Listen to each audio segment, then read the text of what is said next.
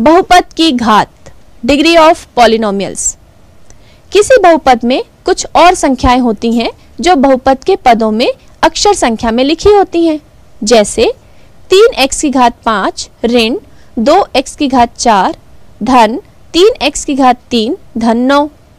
इस चार पदी बहुपद में अक्षर संख्या x की घातें क्रमशः पाँच, चार और तीन है। इनमें सबसे बड़ी घात पाँच है। इस स्थिति में बहुपद तीन एक्स की घात पाँच, ऋण दो एक्स की घात चार, धन तीन एक्स की घात तीन, धन नौ की घात डिग्री ऑफ़ पॉलिनोमियल पाँच है। या तीन एक्स की घात पाँच, ऋण दो एक्स की घात चार, धन तीन एक्स की घात तीन, धन नौ पाँच घात का बहुपद है। कुछ और उदाहरण देखें। x का वर्ग धन तीन में बहुपद की घात दो है। x की घात दो, ऋण दो एक्स की घात सात धन तीन एक्स ऋण एक में बहुपद की घात सात है। पाँच वाई में बहुपद की घात एक है। बहुपद एक्स का वर्ग वाई धन एक्स वाई में बहुपद की घात क्या होगी?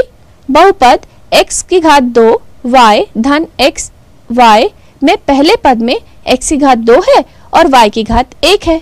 अतः एक्स वर्ग वाई की घात तीन है। इसी तरह x y की घात दो है। इस प्रकार x की घात दो, y धन एक्स वाई की घात तीन होगी। करके देखें। पहला, इन बहुपदों में बहुपद की घात ज्ञात कीजिए। पहला आठ, दूसरा x गुणित y गुणित z, तीसरा u v धन u v का वर्ग धन v की घात तीन। दूसरा कुछ बहुपद आप भी लिखिए, फिर अपने साथियों से चर्चा कर उनके घात भी लिखिए। अचर बहुपद कांस्टेंट पॉलिनोमियल्स अब इस प्रश्न पर विचार कीजिए। क्या छ भी एक बीजी व्यंजक है? क्या छ एक बहुपद भी है? ऐसा लगता है कि छ के साथ कोई अक्षर संख्या नहीं है, और व्यंजकों के सामान्य उदाहरण में अक्षर संख्या तो होती ही है। तो क्या छ बीजी व्यंजक नहीं है? लेकिन क्या छ को छ गुणित x की घात शून्य के रूप में लिखा जा सकता है, क्योंकि x की घात शून्य बराबर एक। इसमें अक्षर संख्या x की घात शून्य है।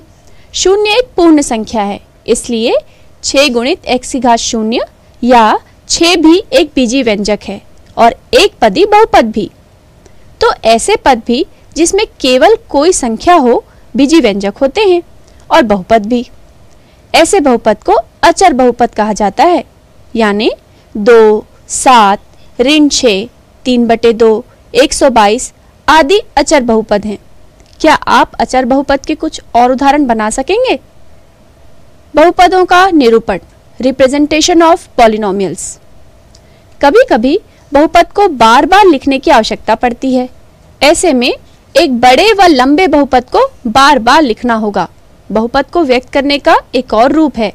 इस रूप में सिर्फ़ यह पता चलता है कि वह बहुपद किस अक्षर संख्या में है। उसके बारे में और कुछ पता नहीं चलता। सवाल के संदर्भ में किंतु यह समझा जा सकता है कि यह किस बहुपद के बारे में है। यदि किसी बहुपद की अक्षर संख्या x है तो उसे हम p of x, q of x, r of x आदि किसी से भी व्यक्त कर सकते हैं। यदि अक्षर संख्या y हो तो ऐसे बहुपद को p of Y Q of Y S of Y T of Y आदि से प्रदर्शित कर सकते हैं। कुछ उदाहरण देखें। P ऑफ़ x बराबर तीन एक्स की घात पाँच, ऋण दो एक्स की घात चार, धन तीन एक्स की घात तीन, धन नौ। क्यू ऑफ़ वाई बराबर पाँच वाई एस ऑफ़ यू बराबर यू की घात दो, धन तीन यू की घात तीन t ऑफ़ एक्स बराबर एक्स की घात छ ऋण दो एक्स की घात सात धन तीन एक्स ऋण एक।